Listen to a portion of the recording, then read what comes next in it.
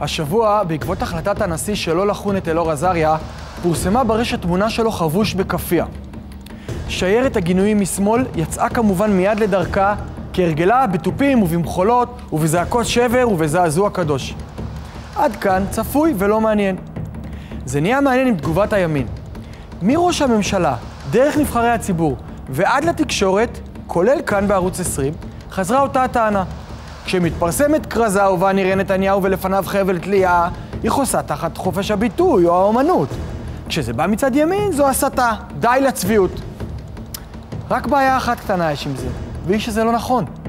גם כשפורסמה אותה תמונה של נתניהו, זומנה יוצרת לחקירה באזהרה, וגם אז הסתייג השמאל, נחרצות, כולם, החל בנשיא בעצמו, המשך ביאיר לפיד, עבור ליצחק הרצוג וחברי מפלגתו, אפילו זהבה גלאון, כולם גינו את הכרזה, בלי אולי ובלי אבל.